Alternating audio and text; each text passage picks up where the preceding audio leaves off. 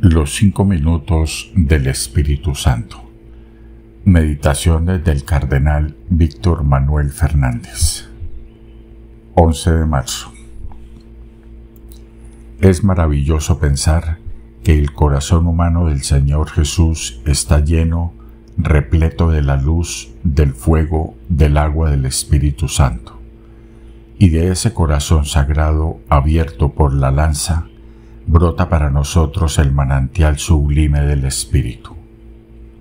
Si leemos el Evangelio de Juan, allí nos encontramos a Cristo prometiendo saciar nuestra sed con el agua del Espíritu que brota de su ser. Juan 7, 37 al 39. Y luego en la cruz vemos que es el costado herido del Señor la fuente del agua viva. Juan 19:34. Pero a la vez el espíritu que brota de ese corazón nos envuelve y nos hace entrar en el misterio de amor de ese corazón que quema.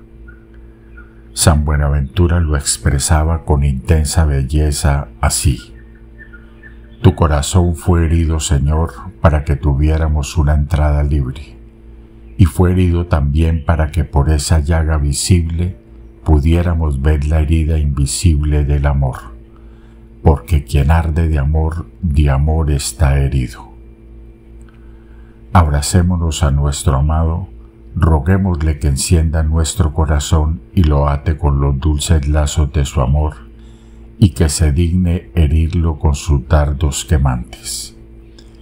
Esto es algo misterioso y secretísimo que sólo puede conocer quien lo recibe y nadie lo recibe sino el que lo desea, y nadie lo desea sino la inflama en su intimidad el Espíritu Santo.